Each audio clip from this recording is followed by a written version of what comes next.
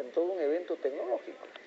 Sí, bueno, los 20 años se una sola vez, entonces este, hemos tenido la ocasión y agradecimiento a los fabricantes, siete fabricantes de la mejor talla mundial han estado en el Perú. Hemos expuesto en un evento gratuito a, no sé, más de 300 empresarios. Hemos traído gente de Arequipa, hemos traído gente de Piura, de Trujillo, gente por supuesto de Lima, de todo nivel de la pirámide, si lo podíamos llamar así, y han estado viendo en vivo, en directo, los equipos, las soluciones, conociendo a los fabricantes, con la idea finalmente de acercar, acercar la tecnología al empresario. Es lo que nosotros siempre buscamos. Ahora, sumado a ello, ustedes pues eh, no descansan, siguen esta jornada con la que empezaron, que es la capacitación, y ustedes lo hacen gratuito. Sí, lo hacemos gratuito hace años.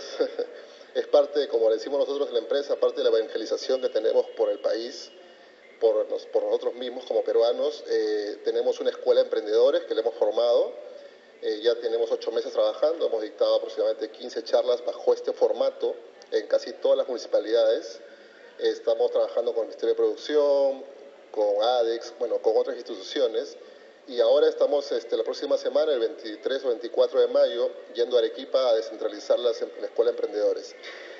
Bueno, le deseamos el mayor de los éxitos a Data Business, a su gerente general, don Walter Guerrero, y a todo el equipo pues eh, que siga evolucionando y contribuyendo al desarrollo de nuestro país con la tecnología. Muchas gracias, Romulo. Muy, amable. Amigos, en Perú emprende empresa.